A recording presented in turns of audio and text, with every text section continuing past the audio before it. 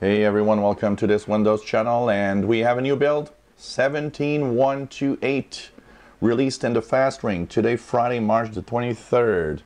Now one interesting thing that I've read is that the watermark is gone from the screen on the bottom right. So uh, we're kind of on a very close RTM here.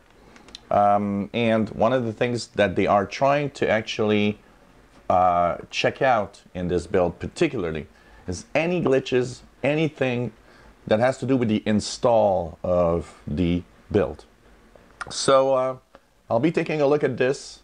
We'll be analyzing throughout the day what's happening and I'll probably have my quick look at what is 17128 later today and uh, no watermark we're pretty much there now first build of Redstone 4 or what is probably, possibly, the fall creators update, the fall, sorry, spring creators update or something like that.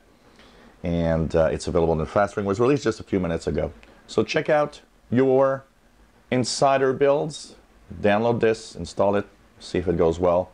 We'll come back at you later today with uh, some more information as to what this build is all about.